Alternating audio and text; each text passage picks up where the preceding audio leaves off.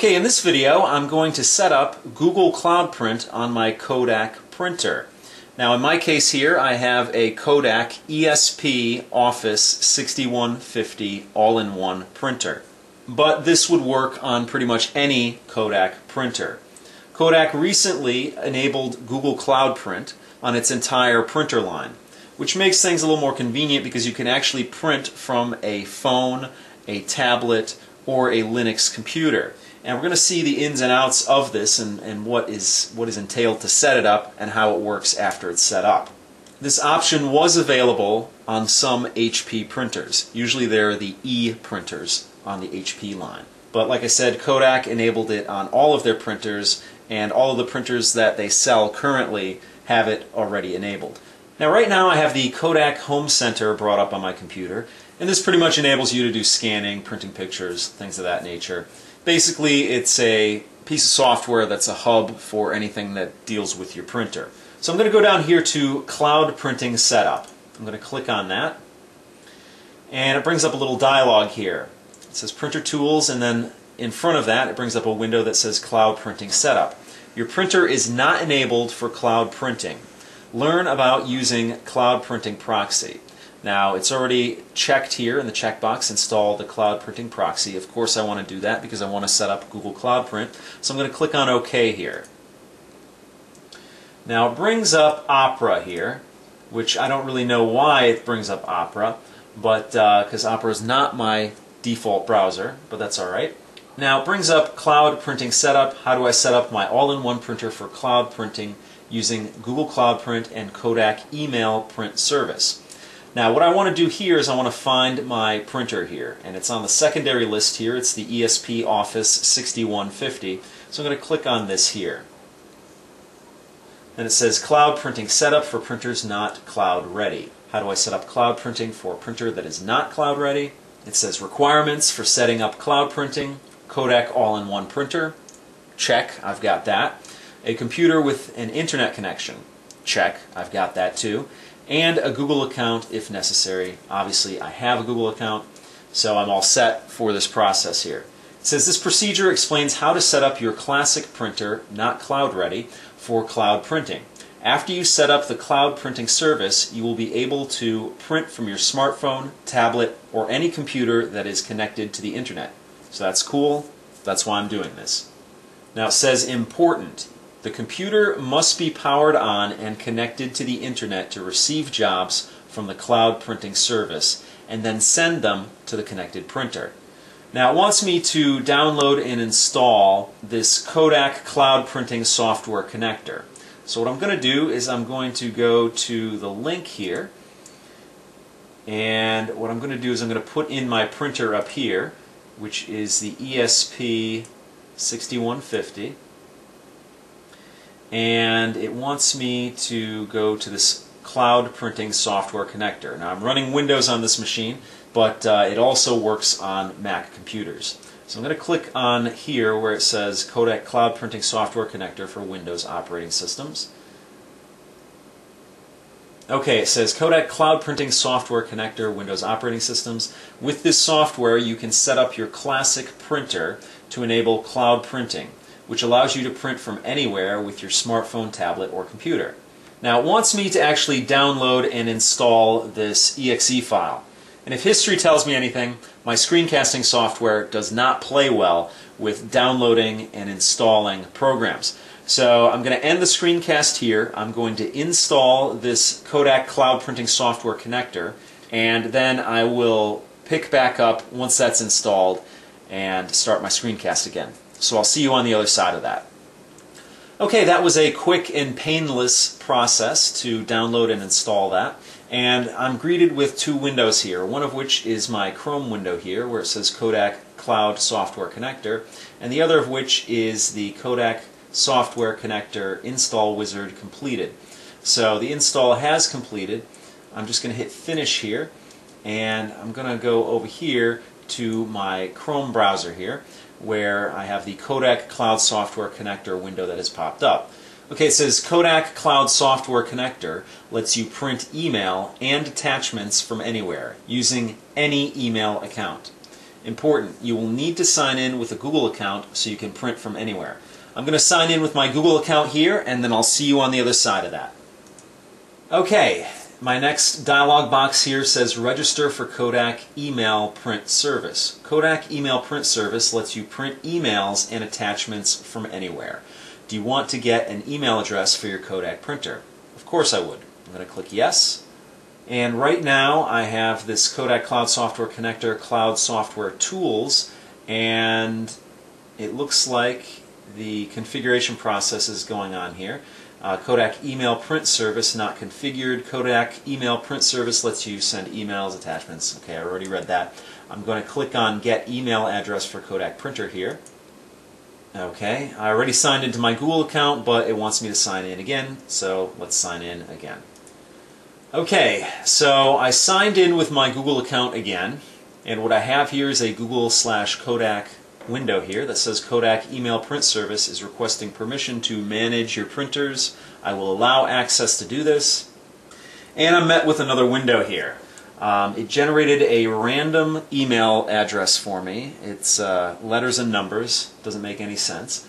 And uh, you can change it if you want, but you can't change it to anything customized. You can only use something randomly generated from Kodak. And I have it blacked out here so you cannot actually see it.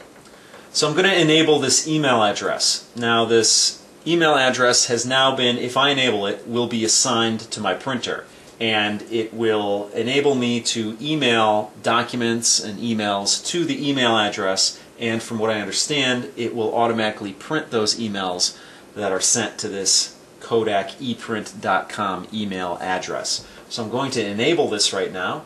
And that basically assigns the email address and links it up to the printer that I have. Okay, so I actually enabled this and my printer printed out a confirmation here that says, you can't see it because I'm still doing the screencasting, but I'll quickly read it to you. It says, now you have the power to print from anywhere. Congratulations, your Kodak email print service has been successfully configured. It gives my email address here, and it says, how does Kodak email print work? With Kodak Email Print, you can send photos and documents to your home Kodak all-in-one printer from anywhere in the world. Whether you're using your laptop, your smartphone, or tablet, it's a whole new way to print, so get started now. Who can use your Kodak email print? By default, anyone can print to your printer using this email address. If you would like to control who can send emails to your printer, simply log in to your Kodak email print account at www.kodakeprint.com and create a list of authorized users. Want to learn more about Kodak email print and Google Cloud Print? Visit kodak.com slash go slash cloud printing and then it gives me a support URL too. So everything's set up and ready to go, so I should be able to use Google Cloud Print.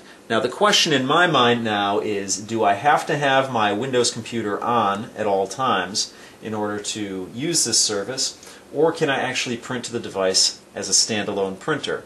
So far, I'm thinking I have to have a Windows computer on at the same time, which is somewhat of a drawback, but let's see how this works out. Now, on my desktop here, I have a new icon. It says Kodak Cloud Software Connector. I'm going to click on that and see what it brings up. Now, in order to set up the Google Cloud Print, I think I'm going to have to enable it on my browser here. So what I'm going to have to do is go up to Tools here and go down to Options, I believe. And I'm going to go to Under the Hood over here. And I'm going to scroll down to where it says Google Cloud Print. Google Cloud Print lets you access this computer's printers from anywhere, sign in to enable. I'm going to sign in to Google Cloud Print here. And I'm going to finish the printer registration here. Okay, it says thanks, you're ready to go. Your printers are now registered with Google Cloud Print. I'm going to try to print from my cell phone onto my Google Cloud Print printer. Okay, so I'm up here at my printer, and what I'm going to try and do is I'm going to try and print from a couple of sources, first of which being my Atrix, my Motorola Atrix cell phone. Now, what I have found out with just playing around with it just before I started filming here is that it won't work from an app. So it won't work from the Mail app even though it's a Gmail app. It's uh, a Google app. and this is Google Cloud Print, so it's all within their ecosystem there. But uh, it won't. You won't be able to print from an app, but you will be able to print from the web-based email on the phone itself. So let me show you the phone here. And right here I have an email brought up where I actually took a picture of a lizard. Tiny, tiny, tiny little lizard in somebody's swimming pool. So on the screen here you have the picture here and you have a couple of options here. Under the picture it says print. So what I'm going to do is I'm going to click on this print link here and it brings me to Google Cloud Print. Now what I'm going to do is I'm going to hit Kodak ESP printer here, the third one down, and I get a couple of options here. Uh, to collate, uh, black and white, how many copies, duplex, whatnot. I want to make this in color, and so I'm going to click color here. Oh, maybe I can't do color here. Let's see. There we go.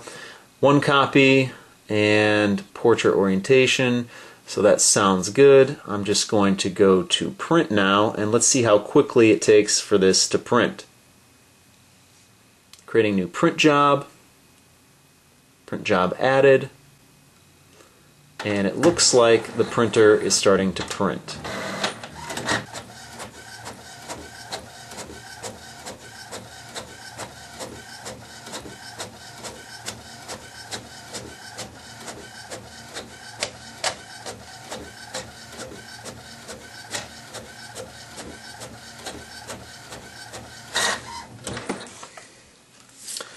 There we go. Picture of a lizard here. And that lizard was about, I don't know, maybe an inch long. Very tiny, tiny little, little lizard in somebody's pool. So it printed out pretty well, printed out very fast, a far cry from what it used to be when Google Cloud Print was first introduced. So that's pretty good. The next thing I'm going to try is I'm actually going to try and print from my CR48 Chromebook. Okay, I know that I said that I would try and print from my Chromebook next. Unfortunately, it didn't work. And I probably should have learned from my previous attempt at Google Cloud Print that it's just not quite there yet. But I got my hopes up because obviously Kodak updated their printers that you could use Google Cloud Print with it. When I attempted to print from my Chromebook to my Kodak printer, nothing happened and I pulled up about three different things to print up and nothing happened. So I shut down the Kodak printer and brought it back up again and still nothing happened. So then I shut down my computer, my PC build that I set up the cloud print on and restarted it because in the past I've found that if I restart the Windows printer that's connected to the printer for the Google Cloud Print, it usually, um, upon startup, prints everything. Again, did not print this time. So maybe four hours later, maybe eight hours later, it will print. I don't know. But uh, at this time, I'm going to give up on the Google Cloud Print for now and hope for a better solution in the future. So what I'm going to leave you with here is a page of Google Cloud Print Beta and it's apps that work with Google Cloud Print. Now I'm going to leave a link in the notes below if you want to look at this in depth on your own, but I'm just going to go over it right now. Now there's a couple of ways that you can print with Google Cloud Print. In this video I showed you that you can print pictures from an Android powered phone. I was not able to print an actual email from an Android powered phone. I was, however, able to send an email to my Kodak email address that was given to me and it will print right away as long as your Windows computer is attached to your Kodak printer via wireless or a wired connection. So in other words, the Windows computer has to be on when you want to print. So if I was out on the road and I wanted to print something on my Android phone, I'd have to have my Windows PC up and running at my house in order for the print job to go through, which is a little cumbersome. But we're at the early stages of this, and hopefully in the future I'll be able to buy a printer that I will just be able to communicate with no matter what without having to have a computer attached to it. So we can print pictures from a phone and I can print an email by sending it to the Kodak email address. Anything beyond that, you're going to need these special things here, which it says apps at work. Now it says on my Chromebook in the Chrome browser here, it should work. Well, it didn't work for me. So that's unfortunate. Now on your Android device, it'll work with Google Docs. Cloud Print Beta, which Cloud Print is an Android application that allows you to print files off your Android device, including emails and attachment attachments, text messages, contacts, web pages, documents, and more. PrintShare Mobile Print. Mobile Print is an Android application that supports several forms of printing, including Google Cloud Print. It can print pictures, web pages, calendar events, contacts, text messages, emails, Google Docs, and other files. I would try some of these, but at this point I feel a little bit discouraged with Google Cloud Print and I've sunk a lot of time with this video and the previous video. If you watch my video number 200 you'll know that my first Google Cloud Print experience I wasn't too happy with it and I really was one of the my lesser favorite videos that I made. So like I said I'm not really going to invest too much more time in this at this time. I'm just going to, you know, like I said, go over these things really quickly with you, and, uh, you know, maybe at a later date I'll revisit it. Hopefully it'll come along a little bit further than it did in the past nine months. Uh, the next thing is Cloud Printer. Cloud Printer is an add-on to the Mozilla Firefox mobile browser. If you use Firefox on your mobile phone, Cloud Printer allows you to print web pages as you surf. Then we got EasyPrint here. EasyPrint is an Android application that allows you to manage your printers and print jobs and print documents and emails. And then on your iOS device, you have Print Central Pro. Print Central Pro is an iOS application that allows you to print to a number of services, include, including Google Cloud Print. Print Central allows you to print emails and attachments, contacts, web pages, text messages, and more. And then here it says on any mobile device, you have mobile Google Apps. If you access Gmail or Google Docs through your phone's browser, you can print any document, email, spreadsheet, or other Docs file through Google Cloud Print. Using the new Print to Docs feature, you can also print any file you wish to your Docs account for safekeeping, made by Google. The next thing here is the web. On any web page, if you see a print button with a Google Cloud Print logo, logo, you can print without leaving your browser. And then Kodak Email Print. Send emails and attachments to your Kodak all-in-one printer from anywhere using an email-capable web-connected device. That's what I have, and that's what I set up here. And then finally, on your Mac or Windows PC, the Chrome Web Store, you have the Google Cloud Print extension. Then you have Cloud Printer. Cloud Printer allows you to print from any application on your Mac, Leopard and up, through the regular Mac print menu. And then again, the web here on any web page, if you see a print button with the Google Cloud Print logo, you can print without leaving your browser. So that's Google Cloud Print in a nutshell. Again, it's a beta product, so you get beta results. Unfortunately, I won't be using it too much because really I don't print a lot. I do print for my work and it would have been handy, it would have been useful to have an option where I could print easily from a Linux computer, uh, print easily from my phone.